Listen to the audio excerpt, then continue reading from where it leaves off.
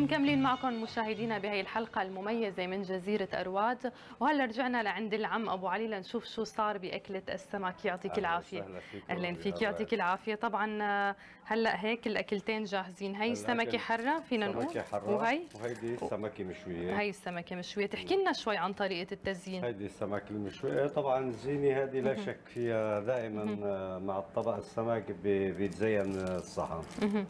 السمكة المشوية طبعا ملحة وبهرة وبنحط لها زيت وثوم بالإضافة للزينة اللي حوالها وهيدي هي.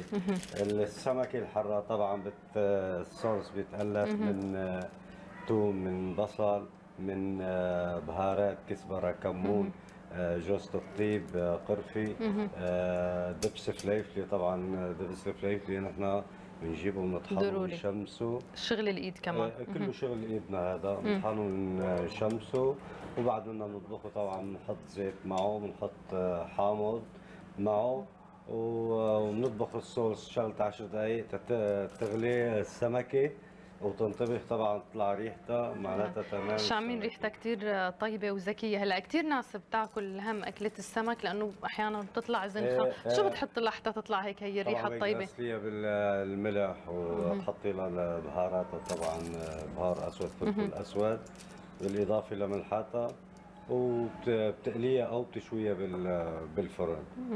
وبعد. منها بتحطي الصوص تحطيها 10 دقائق بالصوص حتى تغلي وتتخمر.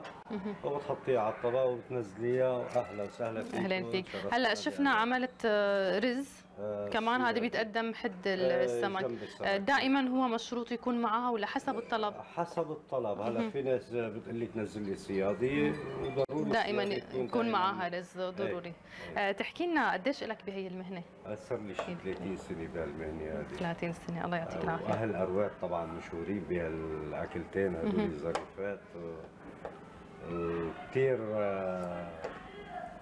يعني بالنسبة على السمك طبعا في أنواع من السمك آه، حسب بيستذوق الزبون شو بده السمكه حسب النوع. على إذا صار أي غلط بالأكلة سواء ملح أو أي شيء ثاني طبعاً. كيف ممكن. تتعدل عليها؟ بتتعدل. بينضاف لها أشياء بتتعدل. إن كان مي إن كان صلصة زيادة اللي طيبختيه بتتعدل كل هذا.